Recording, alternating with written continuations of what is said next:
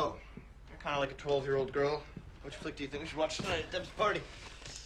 Nightmare on Elm Street. Remake, still scary as shit. Karen got ready for work with the drapes open, which was awesome.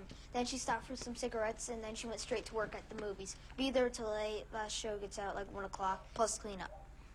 Thanks, bud. Got Carl following her around now. Can't believe you're still cock blocking Karen. She has no cock on my block. Let her go, man. What do you want? Hmm. Oh, you want to marry her? Be with her forever?